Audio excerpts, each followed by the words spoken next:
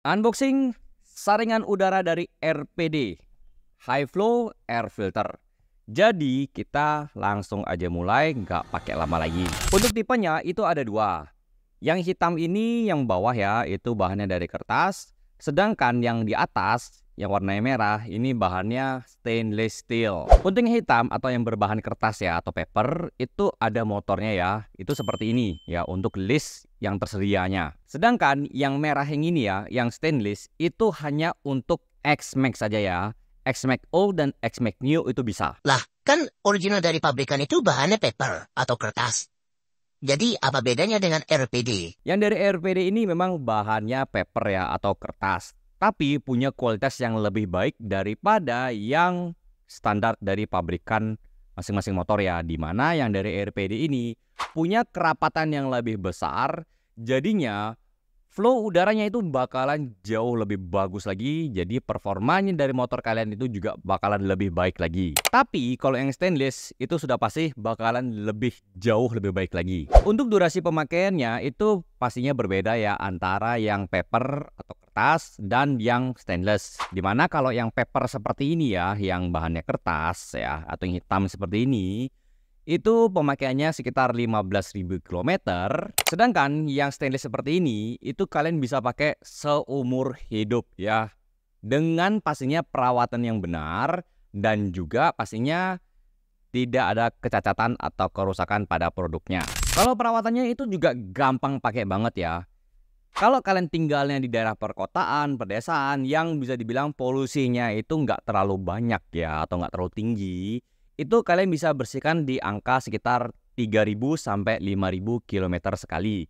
Tapi kalau kalian tinggal itu daerah yang kotor, berdebu, pokoknya polusinya tinggi, itu disarankan di antara 1000 sampai 2000 km dibersihkan. Cara ngebersihnya juga berbeda ya. Kalau yang paper seperti ini, ini nggak boleh dicuci, tapi masih bisa disemprot dengan semprotan udara ya. Tapi kalau yang stainless itu kalian masih bisa cuci dengan air mineral disarankan ya supaya lebih bersih dan juga nantinya disemprot supaya dikeringkan. Paham ya? Pemasangan juga plug and play sesuai dengan motornya, jadi nggak perlu custom-custom aneh-aneh lagi deh. Aman. Oh ya, untuk X-Max itu dapat dua saringan sekaligus ya, di mana saringan yang besar itu ditaruhnya di bagian atas ya, yang menuju ke TB. Sedangkan yang kecil itu ditaruhnya di bagian CVT. Kalau harganya sendiri gimana? Sudah pasti terjangkau ya, karena X-Max aja ya yang dapatnya dua biji itu yang papernya nggak lebih dari 300 ribu sedangkan yang stainless itu nggak lebih dari 400 ribu. Hmm murah kan? Apalagi kalau motornya yang lebih kecil yang 100 cc 125 150 cc itu pasti bakalan lebih murah lagi. Dan aku juga pastinya sudah pasang ya di motorku karena ya aku lebih cenderung menggunakan yang stainless karena menurutku juga lebih baik secara performa dan kebetulan motorku juga sudah di bore up ya. Jadi Aku tes untuk sehari-hari ini sudah enak banget ya, lebih flawless karena aliran udaranya itu bakalan lebih nampol lagi.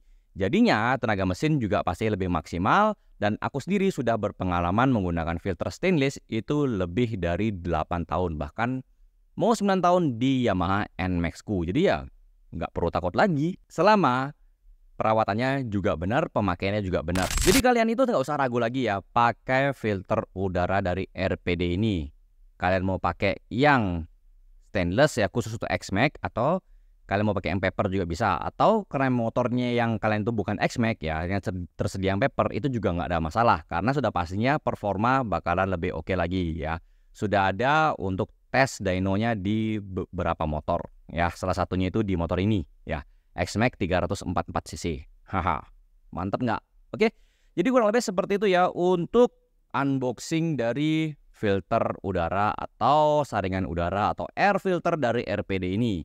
Langsung aja gasken karena performa motor kalian pasti bakalan lebih yahut lagi. Selama kondisi motornya juga sehat loh.